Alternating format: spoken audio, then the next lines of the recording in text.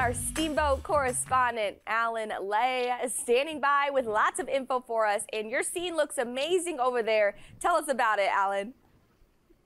Thank you, Brittany, and good morning to you. It's another beautiful summer morning here in Steamboat Springs. You know, we have the 50th annual Art in the Park on Saturday, July 8th and Sunday, July 9th at West Lincoln Park, presented by Steamboat Creates. Art in the Park features nearly 150 artist vendors, live entertainment, food vendors, and interactive creative stations, and is open from 9 a.m. to 5 p.m. on those two days. Also on Saturday, July 8th, the Steamboat Group is hosting a produce drive at City Market from 9 a.m. to 3 p.m. to benefit Lift Up of Routt County and help feed local families this summer. Can't make it, but still want to help local families. From June 8th to July 8th, the Steamboat Group will match up to $20,000 donated through the TSG Fund a donor advised fund at the Yampa Valley Community Foundation.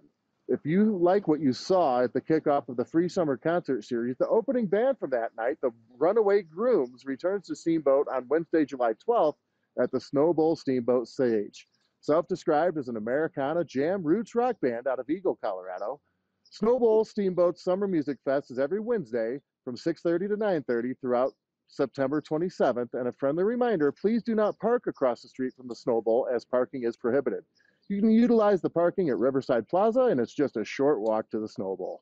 With the Yampa River now at levels that allow commercial tubing, I stopped by the iconic Backdoor Sports here in Steamboat Springs to chat with owner Peter Van De Carr.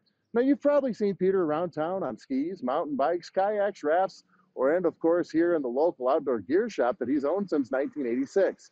Peters also served on many boards in the Steamboat Springs community over the years, and he was a founding member of the Northwest River Alliance, established in 1980, which later became Friends of the Yampa.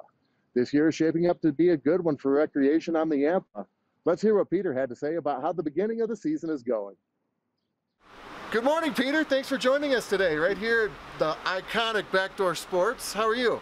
I'm doing great. It's a beautiful day in Northwest Colorado, and we're very excited uh, to be here the day after 4th of July. So um, river's running great right now. Um, it did we did have a little bit of a delayed start, but that's a wonderful thing in Northwest Colorado because um, it means that we have a, a, lot of moisture, and, and that means everything in the river business, but it also means a lot to uh, the, the ranchers and to the environmentalists and everybody needs water, so we're we're thrilled that the water has stayed high. But there are some safety concerns, and and we try to get into this river season in a, in a progressive manner, um, not allowing the little kids to, to go until later on in the year, and, and we're we're starting to get into that um, level of, of river flow that we can um, allow little guys to, to head down. So so um, now, along those safety concerns, always recommend flotation devices, helmets, and shoes, not flip-flops. Right, right. You got to have significant shoes. Um, sneakers are fine; they're just soggy when you get done. But um, there are river-specific shoes and river-specific sandals that are awesome for this. But you don't want to take lightly the the fact that footwear, how important footwear is.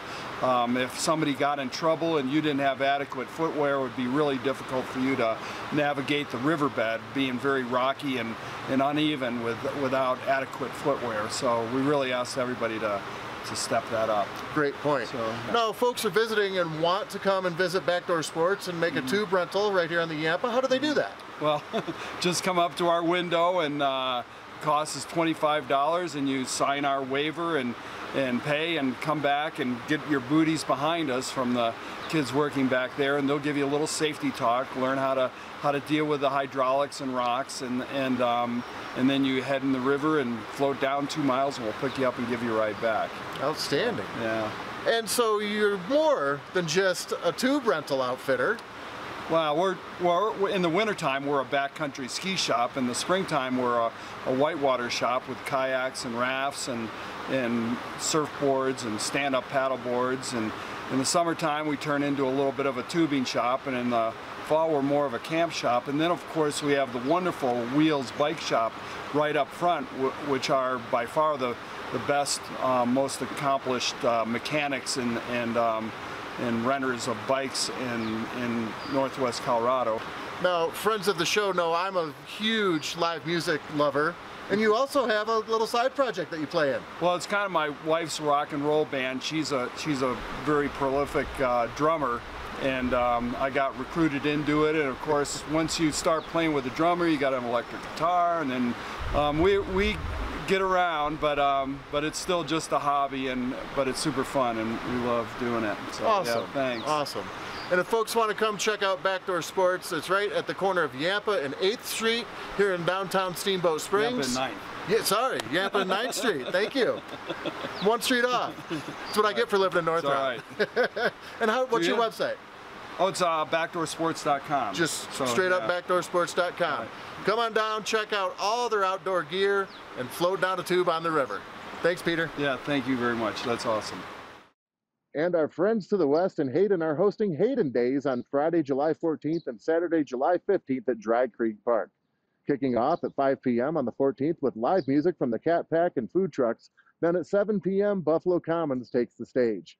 The fun continues on the 15th with yoga on the green, a disc golf tournament, a parade at 10:30, then more fun at the park with bounce houses, a cornhole tournament, and more live music from Jeremy for King at noon and Adia Clark Lay at 1:30 p.m. That's what's going on here in Steamboat Springs. Back to you in the studio, Brittany. Yoga on the green. That sounds exciting. Have you given that a try, Alan? No, um, actually, I like to do my yoga in the privacy of my own home. I understand that. Thank you as always for the update.